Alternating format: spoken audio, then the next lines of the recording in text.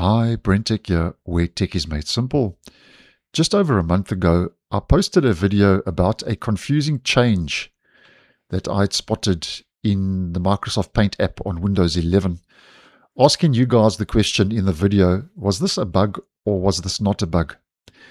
Just a quick recap, if I head over to the said video, this is what I'm referring to, the confirmation dialog box and menu to save your work was massive and huge and didn't look right and didn't look like it should.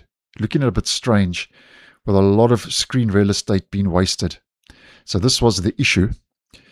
So I asked the question bug or not. Now it does seem that this was a bug because after receiving the latest Paint app update on Windows 11 from the Microsoft Store today in my region, that it does seem that this issue has finally been resolved.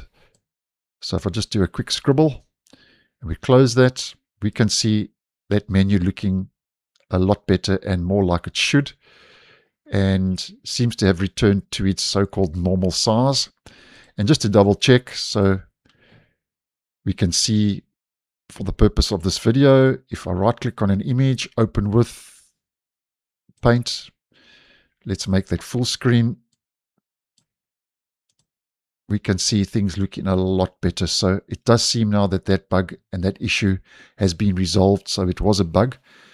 And just putting it out there in case you were affected, that that now has been fixed. And the version of the app that you need to be on, that you need to be on for this issue to have been resolved is Paint version 11.2509.441.0 if you were experiencing that. So just double check that the app is up to date in the Microsoft Store, and that should have now resolved that annoying bug.